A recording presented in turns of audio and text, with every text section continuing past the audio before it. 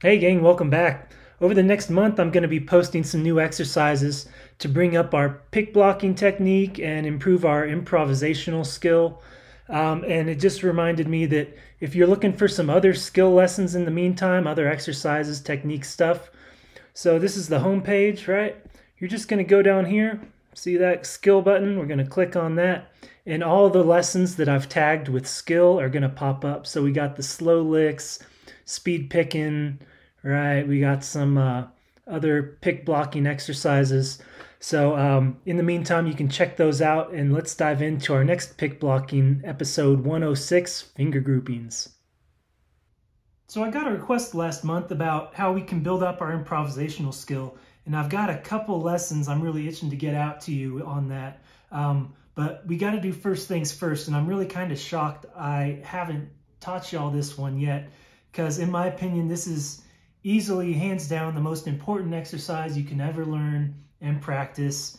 You know, I've been playing over a decade and I still practice this one all the time. And it's our finger groupings. Now there's three levels to this. Let's check out the first one. So again, this is very basic, right? Our guitar is tuned to an E major, right? So we've got two E's on eight and four, right? Two G sharps, six and three, and two B's on five and 10 and that makes up our E major chord, E, G sharp, B. Now, of course, we have our uh, F sharps, right, our nines. That's why we call it an E9, right? And then we got our seven and flat seven. Um, okay, so when we get rid of the nines and the seven and flat seven, we're just left with the one, three, and five, E, G sharp, B. And we're going to practice picking those E major chords. Right, so the first one is 1086. The second one is 865. Then 654. And then 543.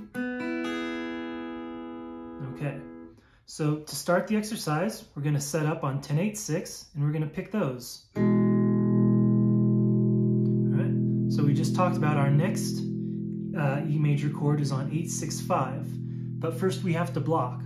So how do we block it, right? So we don't want, after we pick 1086, we don't want to go right back down on 1086 because it's going to take too long for us to get to the next chord on 865. So we're going to pick 1086, right? and then I'm going to set up just right on 865. And you'll notice that my thumb is blocking 8, my index finger is blocking 6, and that 10th string that was ringing is getting blocked with the back of my thumb.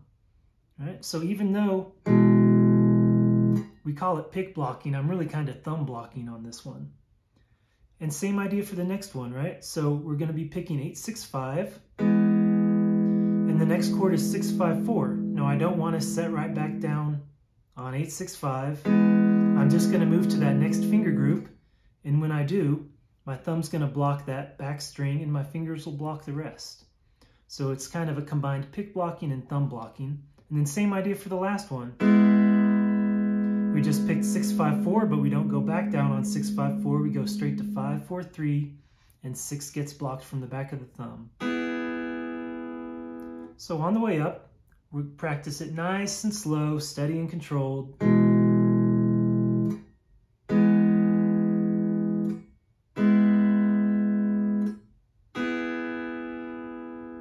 I would way rather you go that slow than go, right? Kind of feel around for the next one. Right? That's just going to build bad habits. So after I pick that first one, I'm going to leave it ringing as long as it takes for me to set down on 865 perfect. When I set my fingers down next, boom, I want it to be perfect every time. As long as I need, I'm to hover over 654 and then boom, block. Same with the last one. I'm to leave that ring until I'm ready to set down on 543 perfectly. Boom. Okay, so now we've worked our way up.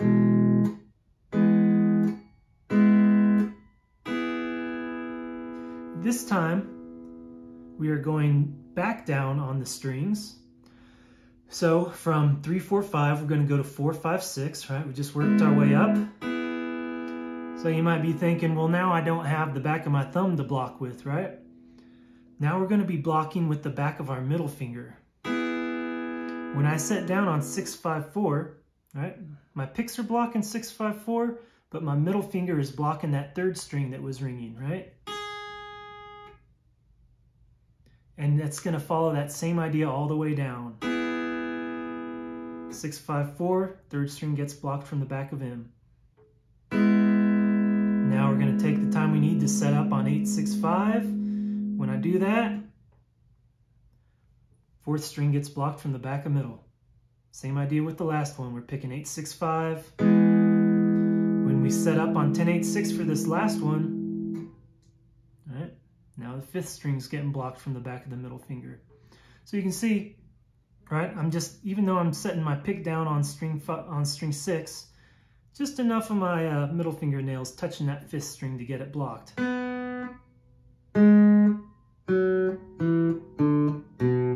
And that's a, a, very common pick blocking technique. So even though we're, so we're learning a, cu a couple things. We're learning our finger groups, which are super important, right? Because those are the voicings we're going to be using for our different harmonized scales, our chord inversions, all of that. And that just needs to be something we don't even want to have to think about down the road. Um, and then the other thing is we're learning pick blocking, right? Because it's not all, pick blocking isn't always setting your pick down on the string that you're trying to block. A lot of the times it's blocking from the back of your thumb, the, the back of your middle finger. Um, okay, so now level two, we're going to bring the bar into it.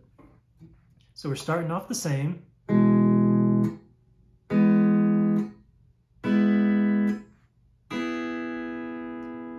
right. Now we're going to bring the bar on the first fret and then we're going to walk it down.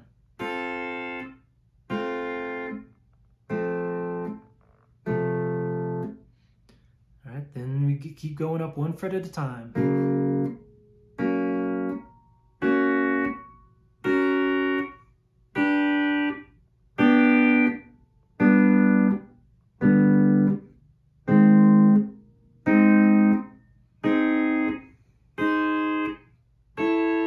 So you get the idea with that.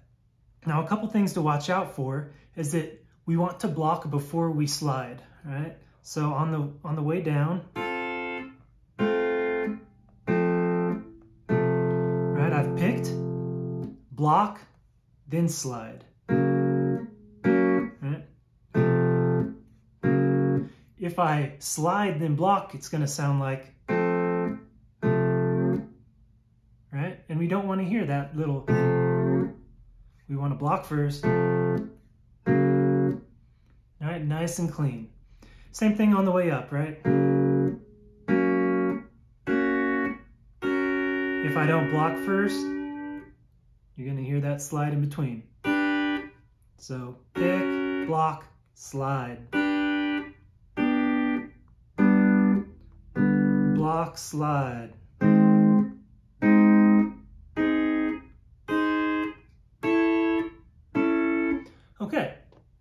So that's level two. We start working our bar into it, and now we're learning three things at the same time. Our finger groups, our pick blocking, and bar control, right? So we're gonna take as much time as we need to really land on that fret, just like we take all the time we need to land our fingers right on the exact strings we want them to land on.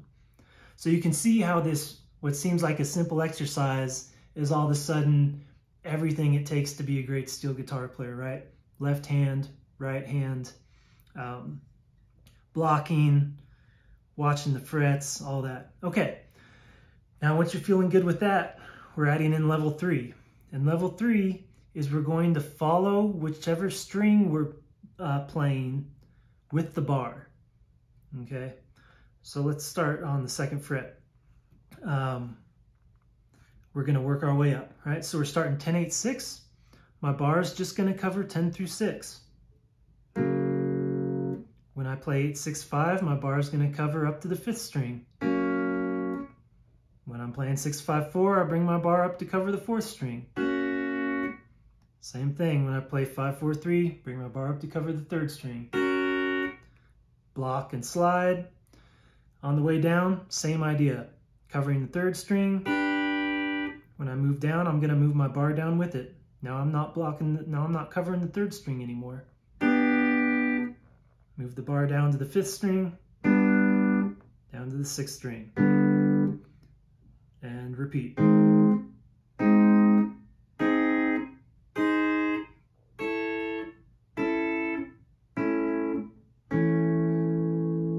Okay, now the reason behind this is this adds another blocking element, right? If my bar is not on the third string, right, you're not going to hear it if I accidentally hit it. It's also a blocking technique, right? right? So without having to block with my right hand, I just block my third string just by sliding my bar off of it, but four and five are still ringing, right?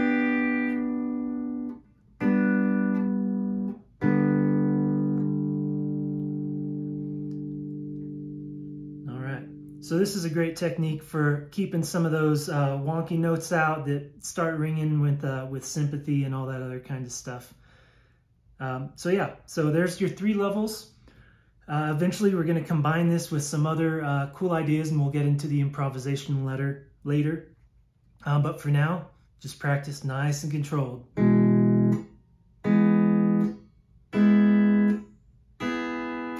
Perfection is the name of the game, not speed. We'll bring the speed up later. Um, if you have any questions about this one, let me know in the comments, and I'll see you soon.